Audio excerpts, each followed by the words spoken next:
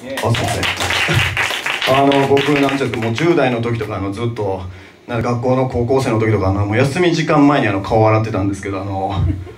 なんか顔洗うの耐えられなかったんですよ小学校の時とか。もう冬とか顕著で。もうなんかもうパッツンパッツンに肌なんか張ってんのにもうそれをなんか一時的に緩和したいがために顔洗ってたんですよ。それでなんかもうなんか精神的な病やと信じ込んでたんですその思春期以降に。これ俺なんか潔癖症なんやみたいな。顔面潔癖症とか言って勝手に名付けて顔面だけオンリーの潔癖症みたいな。でそれでなんかまあその時代が流れてその近年のなんかそのお肌男子もお肌ケアブームみたいななな中でその化粧水に出会ってで塗ってみたんですよね。一瞬で治ったんです。一日一回も顔洗わんくていいみたいな状態になって何や俺みたいな。なんかベタベタしてなお気持ち悪いっていう先入観何やってみたいな感じになって。でそれでまあち継続的に買ってたんです化粧水。ほんじゃなんか一回おまけで乳液みたいなのついてきてまあついてるしつけなあかんな思って化粧水の後乳液つけて。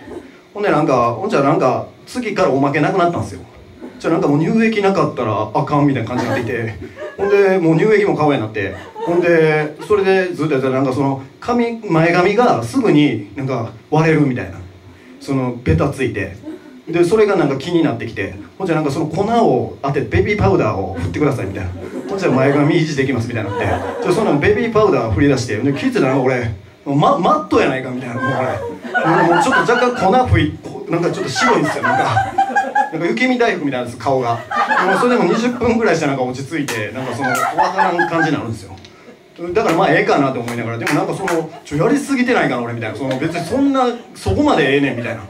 もなんかその化粧水から始まってしまってなんか3つも顔面に塗るって何なん？みたいな。その曲聴いてください。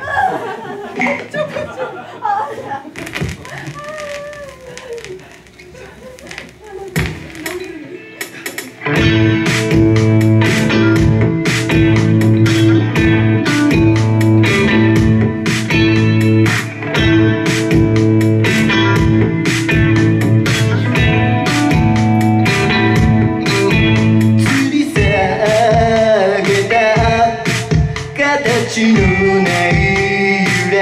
らぎ